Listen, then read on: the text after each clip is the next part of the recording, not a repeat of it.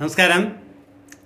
November രണ്ടായിരത്തി ഇരുപത്തിരണ്ടിൽ പുറത്തിറങ്ങിയ സഞ്ചരിക്കുന്ന അടിയന്തരാവസ്ഥ എന്ന എന്റെ പുസ്തകത്തിന്റെ എട്ടാം പേജ് പരിചയപ്പെടുത്തുകയാണ് ഞാൻ എസ് കാച്ചപ്പള്ളി. വാഹനങ്ങളുടെ കാര്യത്തിൽ നിയമവ്യവസ്ഥയ്ക്കൊത്ത വിധമാണോ എന്ന് പരിശോധിച്ച് ഉറപ്പുവരുത്തേണ്ട ആർ ടി ഓഫീസുകൾ അഴിമതിയുടെ കേന്ദ്രമായി മാറുന്നതായി വാർത്തകളിൽ കാണാം. ഏജന്റ് ഇല്ലെങ്കിൽ ഫയൽ അനങ്ങാത്ത അവസ്ഥയും കൈക്കൂലിക്ക് ന്യൂജൻ വഴികളും ഒരുക്കുന്നവർക്ക് അതിനു പറ്റിയ സാഹചര്യം കേരളത്തിലുണ്ടെങ്കിൽ അത്തരം സാഹചര്യങ്ങൾക്ക് വളക്കുറുള്ള മണ്ണായി കേരളം മാറുന്നുവെങ്കിൽ നമ്മുടെ സംസ്ഥാനത്തെ രാഷ്ട്രീയ ഭരണ നേതൃത്വങ്ങൾക്ക് അതിൽ നിന്നും ഒഴിഞ്ഞു മാറുവാൻ സാധിക്കുകയില്ല.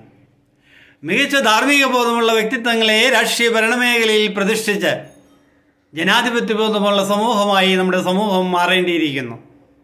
കൂടുതൽ അറിയുന്നതിലേക്കായി W W W dot K C H P P I L L Y dot I N എന്ന വെബ്സൈറ്റ് സന്ദർശിക്കാവുന്നതാണ്.